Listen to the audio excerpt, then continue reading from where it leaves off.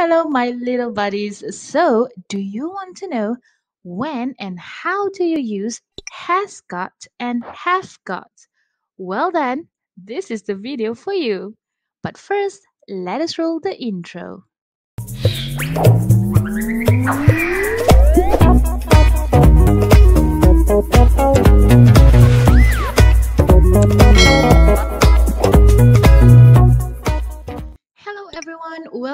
Back to my online English class. And if you don't know yet, let me introduce myself. My name is Madam Zetty. How are you guys doing? Hopefully, everyone is doing awesome at home. Alright, today we are going to learn about two things, two very simple things, which are has got and have got. And we are also going to look at their negative forms. So, are you guys ready? Let us begin. Today's lesson can be found in Get Smart Plus 3 textbook. But if you are not year 3 students, you still can learn from this video. So watch until the end. First and foremost, let's look at the meaning. In Malay, has and have mean other, and they are used to talk about something that you have or you own. Let us look at the first one, which is has got. So, this one is used for singular subject or satu. So, when you are talking about only one person, you use has got. Let's see some examples. For subjects such as he, she, it, the boy, Anna, or the cat, which each of these shows only one person or one thing or one animal, then we use has got.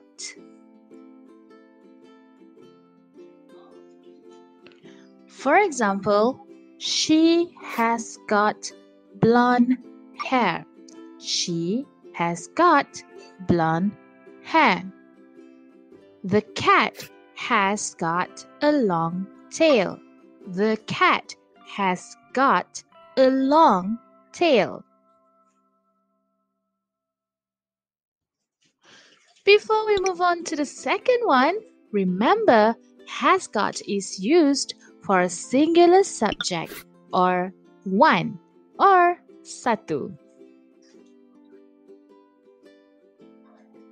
Let's look at the second one, have got.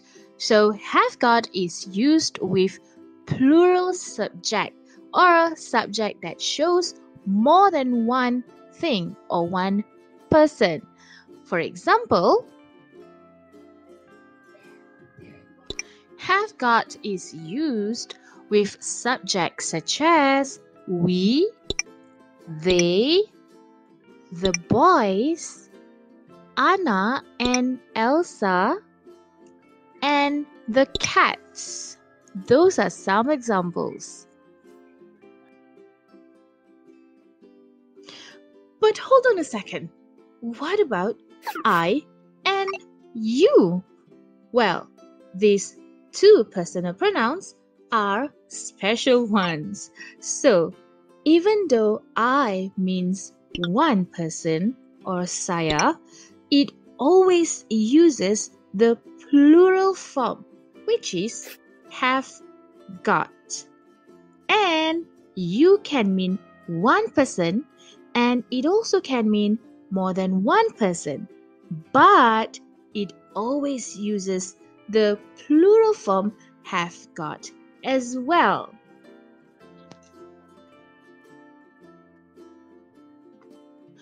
Before we proceed to the negative form, let us recall has got is for singular subject and have got is for plural subject.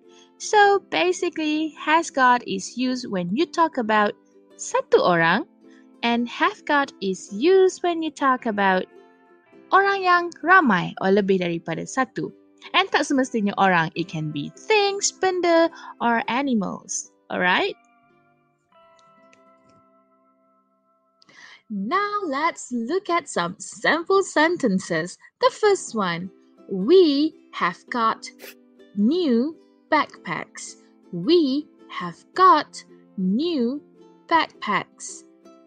Next one The boys have got a big house. The boys have got a big house.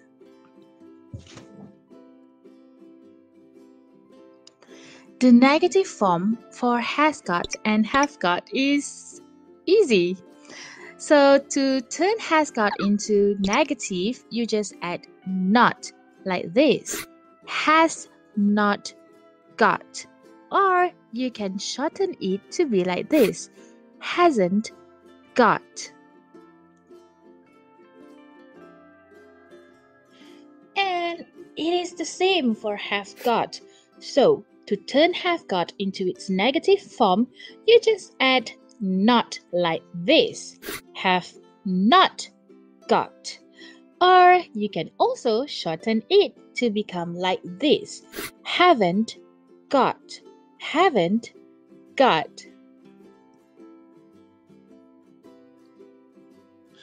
Hmm, what do hasn't got and haven't got mean? Well, basically, they are just the opposite of has got and have got. If has got and have got mean other, which means you own that thing or you have that thing, then hasn't got and haven't got mean tak ada. So you don't have that thing, you don't own that thing. Get it, guys? Alright, let's look at some sample sentences. Number one I haven't got blonde hair. Number two She hasn't got blue eyes. Number three The boys haven't got brown hair. And example number four The dog hasn't got a long tail. Now that you have seen all of the explanation and examples, how about we do some practice? Let's go!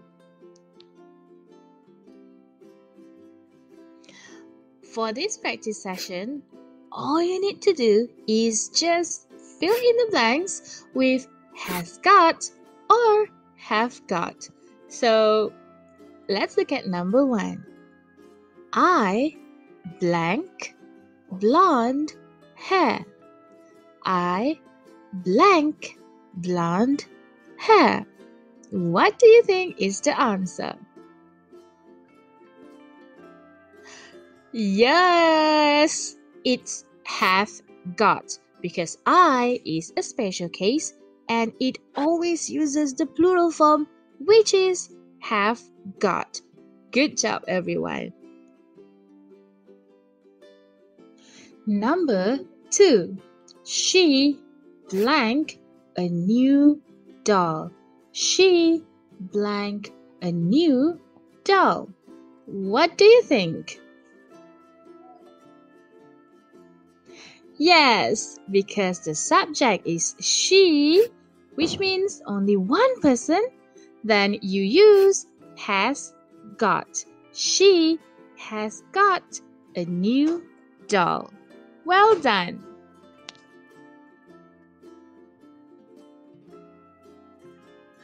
Number three, we blank a lot of homework to do. We blank a lot of homework to do. So, which one do you think? Has got or have got?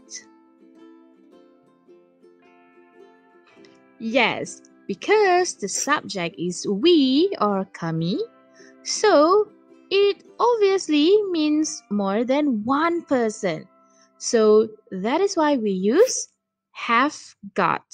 We have got a lot of homework to do.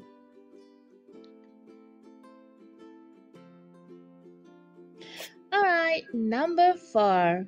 The boys blank football practice. The boys blank football practice. What do you think? If you say have got, then you are absolutely right.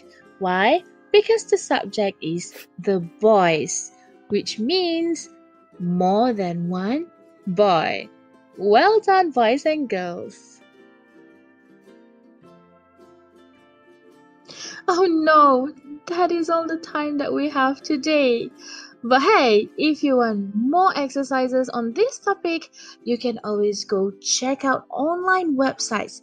There are tons of exercises for has got and have got. So go and check them out. Good luck and have fun. And with that, we have come to the end of our lesson for today. I hope that this video is helpful for in helping you to understand how and when to use has got and have got. If not, you can always rewind this video and watch it again and again. Alright everyone, so if you do like this video, then give it a thumbs up and also share it around with everyone so that everybody can learn about this topic as well. Alright, so if you don't know yet, I do a lot of English lesson videos on my channel.